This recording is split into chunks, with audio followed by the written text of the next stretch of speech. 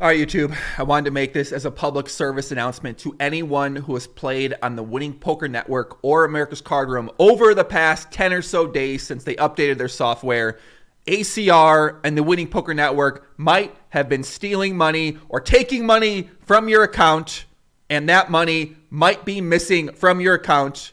And for a lot of people out there, the only way they've been able to recover this money is by contacting America's Card Room on Twitter, contacting CEO Phil Nagy directly on Twitter, or on the 2 plus 2 poker forums. And I know there's a lot of players out there who have messaged me who said, "Hey, can you make a video about this ACR software embarrassing situation? Can you, I, am missing some money from my account. I played cash game. I didn't get the money in my account. The I played blitz. I the money didn't get the money in my account. So if you're out there and I know there's a lot of people out there who are probably going to get fucked super hard by this situation because they're dealing with this overwhelmed support that ACR has that probably isn't very good in the first place from everything that I'm reading out there so far. And now they're getting hundreds and maybe thousands of messages complaining about the software update and about missing money on the site. And if you're out there and you're saying, I'm missing money, I'm dealing with this incompetent support, what the hell's going on here? Like, I, I need some help I want you to go to Twitter.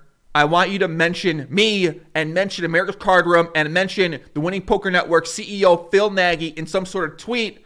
And if you have an issue and you can't get a refund, please send me a message on Twitter. Please send me a message on Instagram. I will try to direct you to a source where you can actually get your money back, even if you have maybe have a discrepancy. So what's been happening, I guess, is that there were people playing tournaments, they didn't get their money, they registered for things, things got canceled, they didn't get their money. Some people are saying allegedly they're missing some sort of rake back on there. So I'm not super familiar exactly with how the uh, if there's a new rake back system or with the software update in ACR because after having CEO Phil Nagy on the on the podcast, he talked about how the new software could see everything that you're posting and see everything that you're doing on your computer. So it sounds a little fucking sketchy.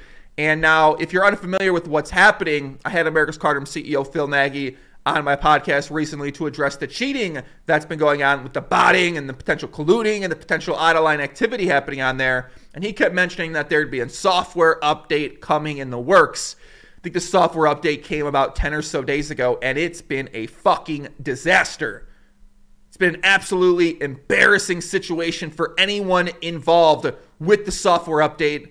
The support on 2 plus 2, the winning TD, said he was embarrassed to show his face on the forums for one day. But I do got to say, he has helped some people get refunds on 2 plus 2. So I've had my, my back and forth with him in the past, but he's working with what he has here, and people are fucking pissed off. They're not happy. They're complaining on Twitter. They're complaining on 2 plus 2. They're complaining on Instagram. They're sending me messages complaining about things saying, hey, can somebody speak up about this situation? Because it feels like nobody with some sort of voice is actually on the player's side and willing to say, okay, there's something going on here. So basically, what happened, they updated the software. It's been a disaster. It's shut down numerous times, a lot of different glitches. I saw one screenshot where a guy was playing Hold'em, had three fucking cards in his hand. So I don't, it, it's, it's an amateur hour here, basically, guys. It's an amateur hour out there. They, they, who knows how many people are on this sort of software update. Obviously, it's not easy to update software because these guys are using all of you players out there as the beta testers instead of actually having other people beta test this to ensure that it's working properly. So hopefully they're working at this. Hopefully they will get this fixed. I, I don't have a lot to really say about this thing except it, it's just an embarrassing situation. The communication has been very, very, very lacking. And I'm not really sure exactly what the support's supposed to say. I, I'm, I'm led to believe there may honestly only be one support person for the entire site. I think the same support person that operates Twitter also operates on 2 plus 2. So maybe you're dealing with one support people on the public forums, and then you have a handful of number of people that are the support when you message back and forth with them. Um, how much they really know about what they're talking about, those support people, I'm not sure. I've seen some chat logs. It doesn't look very good. These don't look like the most supportive people or the most nice people. You have to imagine what kind of person ends up with a job as ACR support. You know, I mean, I don't know, right? So Phil Nagy mentioned the 11. He's got 11 security guys on the team, and people did tell me the the games are pretty good because guess what? It's only Americans. So people were saying the bots closed down shop for a few days. The bots didn't want to play because money was getting confiscated. The bots didn't want to play because the race race wasn't working properly. The bots didn't want to play because their software was getting adjusted to the new ACR software. So they told me the bots were out of commission for a few days. But luckily for all of us, I'm told the bots are back. So not sure if this really fixed the situation or not. You know, I saw a screenshot out there where a guy was nearing the bubble. He was, he was chip leader. There was 20 some players left, and they canceled the goddamn tournament on the guy.